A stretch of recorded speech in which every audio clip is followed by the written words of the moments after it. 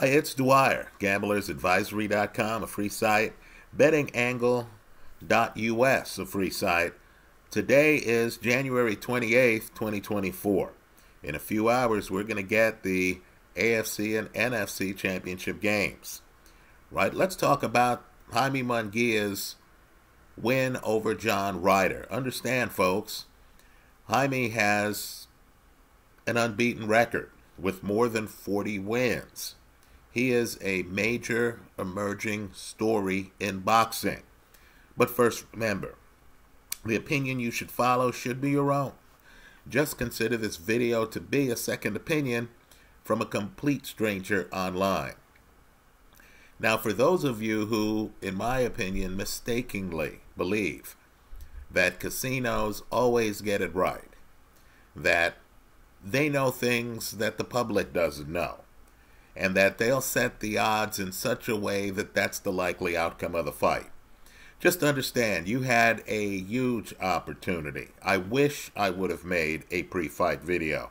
You had a huge opportunity in betting on this fight because, as we just saw, it was an all action fight. Jaime Munguia tends to have all action fights right? He's not defensively blessed. He's extremely high volume, right? He takes chances. He's jumping in the pocket. He's trying to throw home runs with both hands.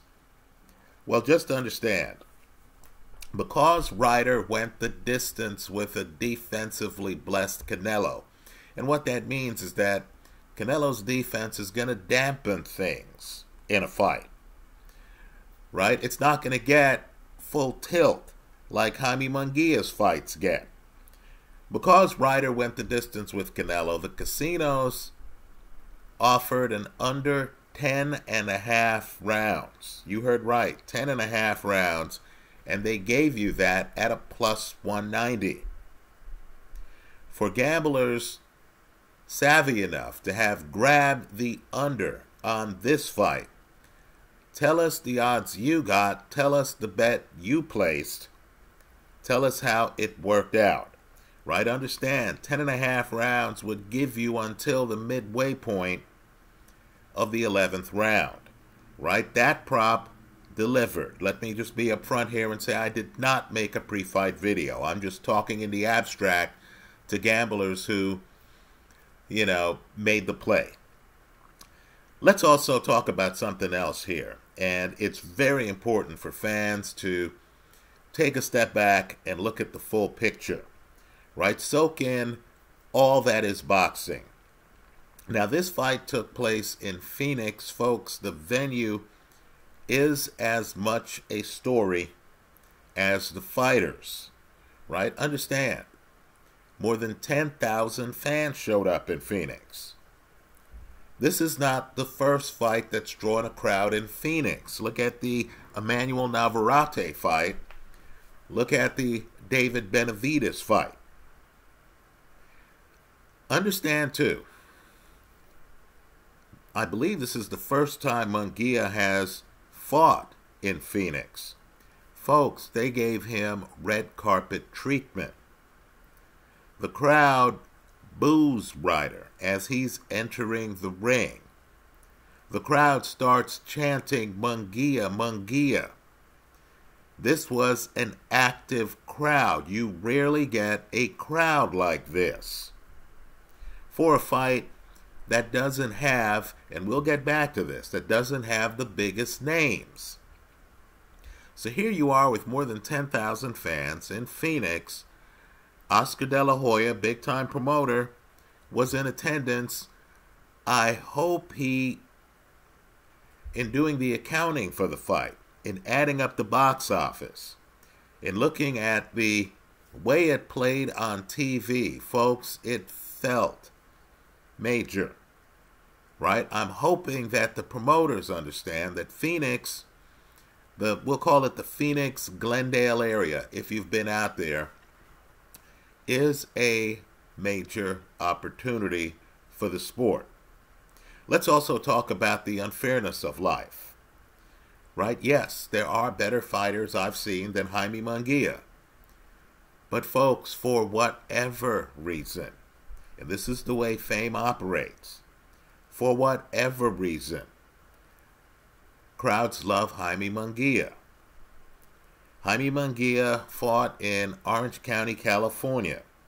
Now, understand, Orange County is a huge opportunity. That's where the Los Angeles Angels play, right? You have a lot of people living in Orange County. It's between two big cities, San Diego and Los Angeles. And I'm telling you, when Jaime fought there, he was the headliner and the fans loved him. Well, here he is in Arizona pulling more than 10,000 fans, and they're chanting his name. Right? Yes, you have better fighters than Jaime Munguia, but understand he's a headliner in places like Orange County and Phoenix. That's a big opportunity if you're an excellent fighter who the public might not know that well. Right? Think Janibek the best at 160.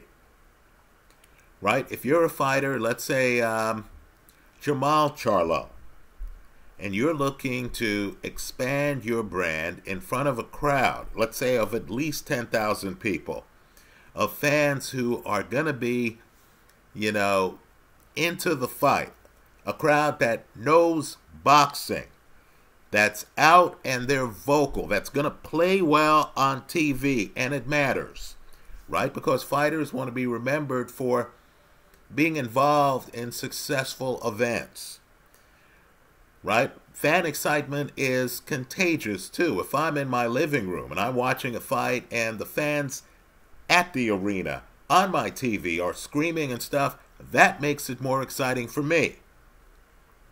If I'm the people behind a Jermall Charlo and I want him to fight in a great event in front of a motivated crowd with a fighter who has defensive lapses.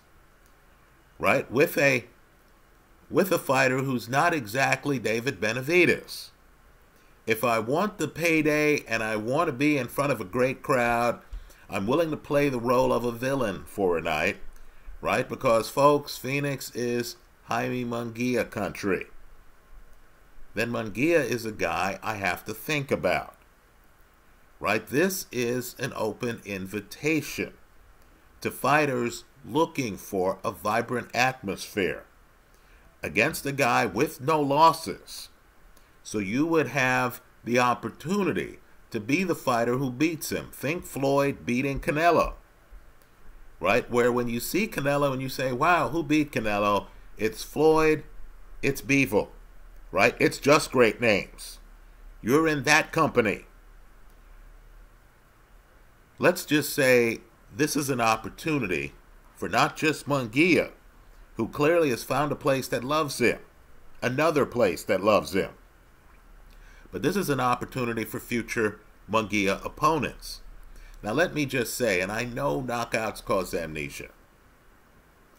Um, you know, I understand a lot of people are just going to see the results.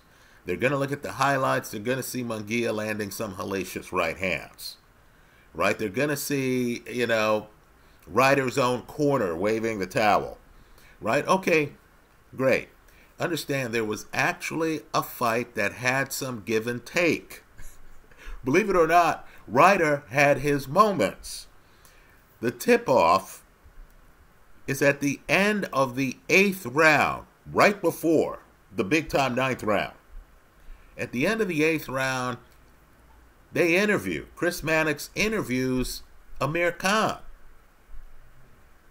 Right? And I'm sure Amir Khan was one of the five or six people in the arena outside of Ryder's quarter who was rooting for Ryder, right? Because he's British and he's out there you know, representing the Union Jack. He's representing the British, the British fighter. But Khan is dead on. He's honest in the interview when he says, look, at first, this looked like it was going to be a quick fight, an early knockout. But then he points out correctly that now it's a real fight. Now Ryder has an opportunity because Ryder has made a comeback in the fight Right, folks? I'm just telling you. And I know this is not the story hitting the press. That Jaime Munguia is tired later in this fight. And by later, because it's an action fight, I'm talking about the sixth round. Right? That's later for these guys. Munguia is tired. Munguia is reverting back to bad habits. We'll talk about it, right? Then Munguia starts finding himself backing up. Picture that if you have followed Munguia fights. Munguia on his back foot. Why? Because he's getting hit with a stiff jab from a southpaw.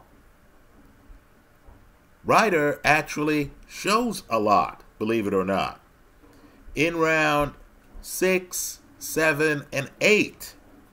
Now we'll forget about all of that because of the knockout, right? You know, the highlights are going to dominate the day. The people who missed this fight, who knew that Munguia was the favorite, are going to say, oh, Munguia got the knockout. Okay, Munguia is, after all, a blessed puncher. But just to understand, this is a tale of two fights. Let's talk about both of them. Now, Munguia now has Freddie Roach in his corner. Understand, Ryder is the shorter fighter. That's important because early on, you see Munguia at his best. Folks, this was a new development. Munguia comes out in the first round and he comes out low. Right? In other words, Munguia, the bigger man, actually bends his knees and comes in low. Folks, it suits his style perfectly. Munguia upright is defensively challenged. He gets hit with tough shots. Right? Not just the left jab, he also gets hit with uppercuts. In other words, he's just there when he stands up. But Munguia in the very early rounds, particularly the first round, was a revelation. Right? He has his hands up. He's defensively mindful. Believe it or not, and I know I'm a critic of Munguia's defense. I'm a critic of his defense here in this fight, but not for the first two rounds. You saw what Munguia was working on. Right? Munguia comes in, he's low, he is patient, that's another thing. Right? You know, Munguia is that rare fighter who sometimes throws too many punches, leaves himself open for counters. Here, early in this fight, Munguia has his hands up, folks. He's defensively mindful, and he's backing up John Ryder, a very tough guy, a guy who himself backed up Callum Smith. Munguia is controlling the pocket early. He's doing it by getting underneath John Ryder. It's hard to find Munguia's body for Ryder because Munguia is bent. And Munguia, who's an excellent hooker, is throwing big hooks, but he's not reckless. Now, that's the best Munguia, the Munguia of the first round is the best Munguia in this fight. Right? He's going to the body. He's not reckless. He's defensively mindful. He's lower than Ryder, who seems unable to move him around the ring. If you're Freddie Roach, you want to take your fighter aside and you want to say, hey, Jaime, early on, in my opinion, you were at your best. Right? This style would give the elite fighters at 168, and that includes Canelo, problems. Right? If you're going to hang against the best, you're going to have to be defensively mindful. You're going to have to think about what happens after you throw punches. In other words, is a Canelo, is a Benavidez going to be just waiting for that opportunity to counter you. Right? Munguia also comes in at angles early. It's impressive. But like Anthony Yarde against Beterbiev, and Yarde came in on his toes in that fight, right? You know, shooting a jab early. Uh, before, of course, falling back into Anthony Yarde. You understood that Jaime Munguia eventually was going to fall back into being Jaime Munguia. Right? It's like the smoker who has given up smoking at the bar until, of course, a few drinks in, they want a cigarette. Right? So, let me just say, you saw what Jaime worked on. There are times where Jaime's on his toes, believe it or not, and he's dancing. But understand, there was nothing else there. Right? He's not on his toes behind a jab, moving around the ring. No, he's on his toes. The only thing I took from Jaime being on his toes was that it kept his opponent guessing on when he was going to enter the pocket. Right? Jaime slowly starts straightening up that leads to a lot of wrestling between the two men. There's a lot of grappling in this fight. Ryder wants to move Jaime backward. Right? Jaime doesn't want to go backward because you and I know Jaime doesn't have much of a back foot. Let's just be critical, folks. If you're 43 and 0, we're going to look at you and say, okay, well, how would you do? Against Canelo, Benavidez, right? Some of the others. Billy Joe Saunders is back. If I'm Billy Joe, I leap at the opportunity to fight Jaime Munguia. Right? Morrell. There are a whole host of guys out there. We're going to ask the tough questions. In this fight, Jaime Munguia is best on his front foot when he's fighting low. Unfortunately, that doesn't last. Right? He does go back to fighting low in something like the eighth round, but that doesn't last. Right? Munguia ends up wrestling with Ryder because, of course, both guys are front foot heavy. Neither guy has much of a back foot. Right? Munguia, of course, the punch pattern is interesting because I've seen Jaime Munguia throw a very good jab, but he doesn't have confidence in it. So he's very hook heavy in this fight. Right? So let me just say this. The Munguia of the early rounds can hang with anybody. He's a blessed puncher. When he has his hands up and when he's fighting low, he's going to give guys problems. Right? He just has to, when he's fighting low, figure out a way to guard against uppercuts. Why? Because guys like Canelo have uppercuts. Right? Guys like Benavidez have uppercuts. That's the crowd you need to think about. Right? If you want to get to the very top at 168, you have to think about the very top at 168. Right now, the disturbing part of Jaime Munguia is that Munguia starts to straighten up. He can't maintain being very low. Then his defense degrades. Then he's throwing so many punches that savvy vets can figure out okay, if I can survive this onslaught, I'm going to have countering opportunities right? Munguia also constant movement between punches, right? He's moving, he's moving, but he's not adaptive reactive. So he's moving according to a predetermined pattern that no doubt he's worked on in sparring. But yet, an opponent can figure out the movement, and an opponent can time when to throw a jab. Ryder does just that. So I'm just telling you, Munguia starts to run out of gas in the middle rounds of this fight. Ryder is very much in the fight. Very much in the fight. in the seventh and eighth rounds. Right? In my notes here, I put Ryder starts backing up Munguia behind a jab. Right? And keep in mind, Munguia, when he's on his back foot, he's not exactly James Toney or Ray Robinson.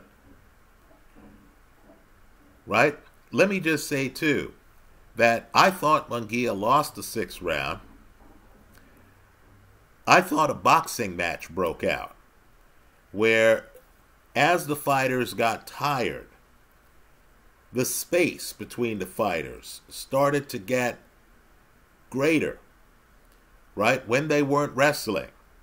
And when there was a cushion between the two fighters, Ryder had his moments.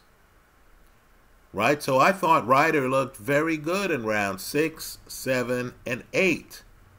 Let me find uh, let me point out round eight's interesting because Munguia starts fast, he's full tilt. Looks like he's on the verge of getting a stoppage. He has Ryder by the ropes. The ref is looking hard at Ryder. This is the first part of the eighth round. But boxing rounds are three minutes long. By the time you get to the second minute of the eighth round, Munguia is tired. Now, both Ryder and Munguia have poker faces right? Munguia is not the kind of guy to be in the ring huffing and puffing visibly. But let's just say you notice his volume drops in the middle of the eighth round. And then Ryder takes over. He's able to get Munguia on his back foot. Munguia on his back foot is not Jaime Munguia. Right? So Ryder, I thought, in the eighth round, and this is the round right before the stoppage, takes over the fight. Then we get the Amir Khan interview. Then we get to the to the ninth round. Punching power is a beautiful thing to have. Munguia is a blessed high volume puncher. Right? It's power plus volume. He lands a right hand, the world changes right? Ryder, of course, has the poker face. You understand he's finished. His corner understood it, right? He gets dropped a second time. The corner throws in the towel. So if you're a possible opponent of Jaime Munguia, if you're Jermall Charlo, the hitman, right, you have to think to yourself, okay, if I can survive the early rounds, Force this guy to throw punches. Wait for the opportunity to tilt this guy onto his back foot. And if I can hit him with a stiff jab and not get, you know, lulled into a hooking contest, I have an opportunity. Right? In fairness to Munguia, Munguia just started working with Freddie Roach. I'm sure when the two guys sit down and look at the tape, Munguia is going to see the parts of the fight where Ryder was effective with his jab and Ryder was able to move the fight off the ropes into the middle of the ring. Let me point out, too, Ryder's playing possum over by the ropes where he waits for opportunities. There's a moment in the later part of this fight where he waits for an opportunity and then throws a beautiful counter left hand. Right? It's a beautiful counter left hand, and you understand, Ryder is trying to time Jaime Munguia. Right? Munguia has to figure out that he's being timed, that if he's in with the KG vet and that KG vet goes over to the ropes, part of it might be by design. Right? I believe Munguia needs to work on his back foot, needs to believe in his own jab. The punch selection is crucial here. If you throw too many hooks, eventually an opponent's going to know what's coming. Right? It's like the pitcher with a great fastball who throws too many fastballs sooner or later, fastball hitters like Ohtani are going to figure out what you're throwing. Right? Munguia needs to back off a little bit from time to time, even if he's landing hooks. He needs to say, okay, let me throw some jabs. Let me also get low. That's the fight I saw. Let me hear from you. Tell me the fight you saw. Let me also congratulate the gamblers who saw the 10.5 over under at far better than even money and stuck their toe in the water. That bet delivered comfortably. Sometimes you don't need to know who wins a fight. You just need to know the pacing of the fight. Folks, here, this fight was fast paced. Right? It kind of reminded me of that Claressa Shields fight that she had when she crossed the ocean. One of her recent fights. Where the pacing of the fight was so out of control, you understood. They're going to get tired here. Right here, both fighters got tired, in my opinion. And Munguia, blessed puncher, took advantage. That's how I saw it. Let me hear from you. I look forward to your comments. Thanks for stopping by.